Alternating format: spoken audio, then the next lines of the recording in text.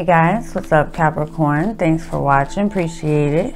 It's gonna be a reading for your immediate future, the situation, any obstacles in your way, hey, revelations, and um, the outcome of that situation. So keep in mind that the energies can go both ways. This could be your energy or the energy of the person, wow, you're dealing with. So fluid how you need to. Could be moving in together, dating. Somebody could be getting a proposal. But remember, it's a general reading. So just take what's yours and leave the rest behind. If it does resonate, please make sure that you like and subscribe below. Also, if you guys would like to contact me for a personal reading, you can find that information below as well all right be careful like um like the thoughts especially uh today because it looks like somebody's like going back and forth between something or just like a, like a lot of confusion a lot of worry and overthinking. All right so in the alignment of uh, the planets today where'd that go? May have something to do with that. All right, so a lot of air energy, Leo energy as well. Whew, okay. So it looks like, okay, and I just want to say just because of the way these cards are coming out and like the the mental carry that somebody like the, the swords mentality like um the mental thoughts, the way that Mercury and Neptune are lining up, lining up today, it can make us kind of go back and forth with those thoughts. And sometimes we can um, kind of have a hard time seeing between what's real, what's not, so we can overlook things. So make sure that you don't do that. Show me the strength card with Leo energy.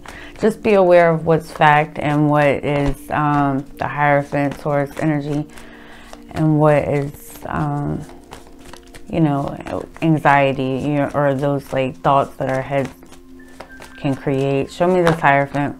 Hui. Leo, Taurus energy. There's some type of balance being created here. Um, you have the Six of Wands and the Six of Pentacles. So, I mean, the, with the Knight of Cups there, it feels like there's something uh, pretty sturdy. Uh, somebody is offering up a couple of emotions here and they look pretty proud to be doing so. With the Six of Wands, why the Six of Pentacles though? Wait, and the Nine of Pentacles. Damn, and the Sun. You have the Six of Wands and the Sun. That's a lot of freaking happiness. The um the nine of pentacles can be a card of being single, but this can also be something around like cash flow. Um, you're creating that. It's like you're really happy in your own space, in your own skin. You could be getting a raise or something like that financially that creates some type of cash flow.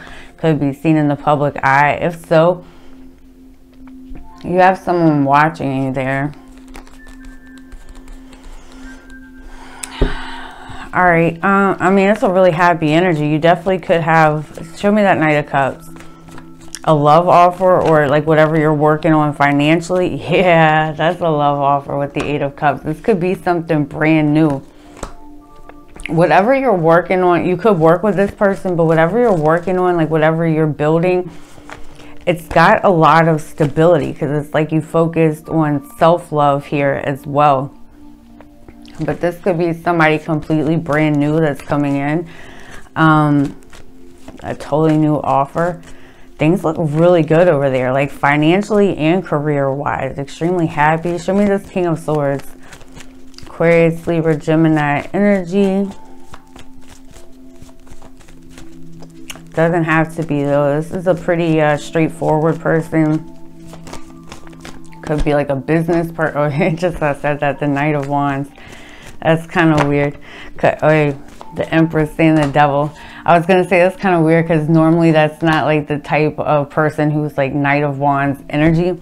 But it's looking like this person is racing straight towards you. They may not have, they might be kind of like straightforward, like with their emotions, not really voicing it. This is your energy here with the devil. But seeing you as the Empress, you're like um, this person is very attracted to you, but you're also like on an independent level doing really well. Show me that Knight of Wands because this is like, that's a pretty fast energy. It's like racing in. A Two of Cups. Holy shit.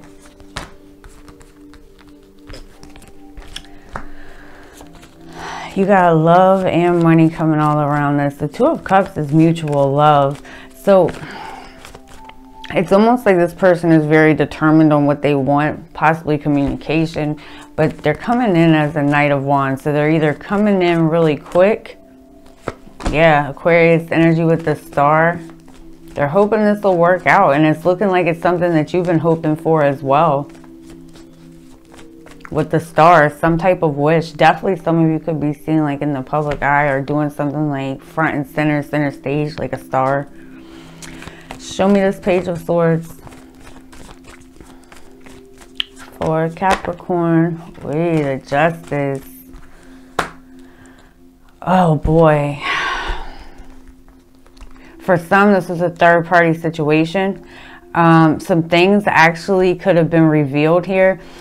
For the justice card, there could be a legal situation, but there's, even if there's not, there's like some type of, of feels like setback. I'm going to clarify that justice, but now I look at the bottom of the deck and boy, oh boy, there's so much other stuff for some going on just beyond this. There's like, there could be a third party that was at a distance. Some things could have came to light. Some things could have definitely got revealed there. All right, show me that justice card.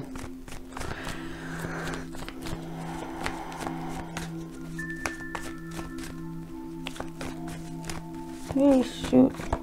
The lovers. It's like an on off what could have been. But um, with the lovers there, it does, you know, with there is Gemini energy, but there can't always be like a third energy that comes in between it. It doesn't feel like necessarily, I mean, it feels like for some there was definitely a third party there.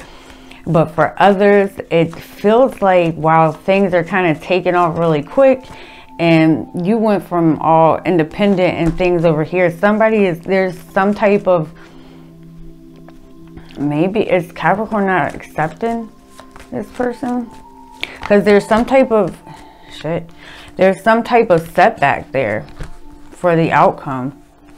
It's almost like on one side and that brings a lot of worry anxiety fear. So that goes back to what i was saying about um, mercury and neptune. But it's for some this third party that was at a distance like somebody is kind of shutting all the way down and I don't know which way it's going. It looks like somebody is making a decision possibly to end something. That could have been a marriage or something long term but that's not for all. Give me one more for the outcome for Capricorn. The six of swords could be moving could be traveling but it does feel like there's some type of um, setback here and I'm not exactly sure what that is. This started off so beautiful. Your finances look great. The hangman, Pisces energy, something's kind of hanging it up there. So there could be, you know, some type of delay. There could be um, gossip around a situation. Uh, it could be a legal situation. It'd be different for each. But um with the hangman there pisces energy make sure you're looking at things from all angles all perspectives whichever way that means. Because you started off really great over here and then there's definitely some type of setback going on over here. All right capricorn remember it's just a general reading so just take what's yours and leave the rest I will talk to you guys later.